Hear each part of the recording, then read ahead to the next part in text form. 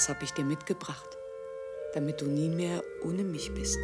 Ich wünschte, ich brauchte nie ohne dich zu sein. Dass wir uns treffen müssen. Ich verschwöre.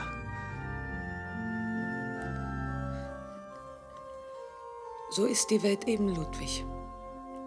Sie gönnt uns nichts. Einmal, einmal müssen doch unsere Erwartungen und Verzweiflungen belohnt werden. Und vor lauter Warten bin ich plötzlich alt geworden. Schon 33 Jahre.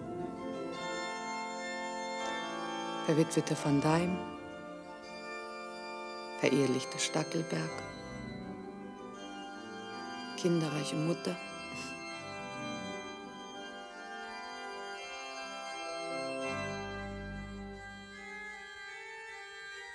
Das Original wäre mir lieber.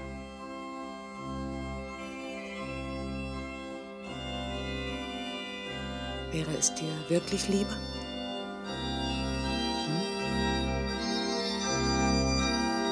Wieso und wodurch wir immer auseinandergerieten?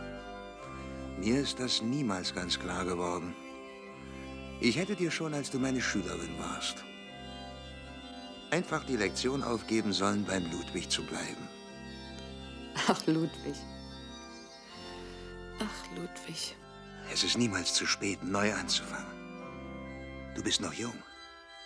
Du als Einzige unterliegst nicht dem Schicksal der Sterbliche, wie es bei Homer steht. Penelope hat die Freier heiraten müssen. Odysseus ist ja nicht gekommen.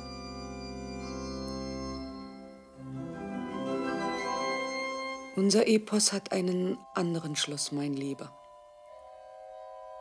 Es ähnelt eher Orpheus und Eurydike. Auch ich muss in meine Schattenwelt zurück.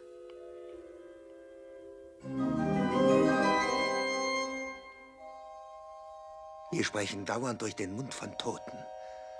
Wir leben immer wieder ihr Schicksal nach, als müsste es so sein.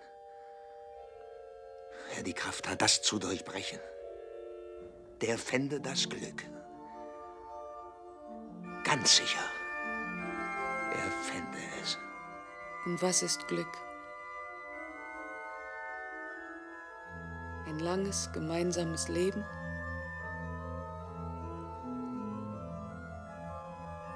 Unser Leben neigt sich schon. Und meines ist an mir vorbeigegangen. Fast unbemerkt. Auf einmal. Weg. Gleich um. Und ich weiß nicht, wo es geblieben ist. Es hätte bei dir bleiben sollen.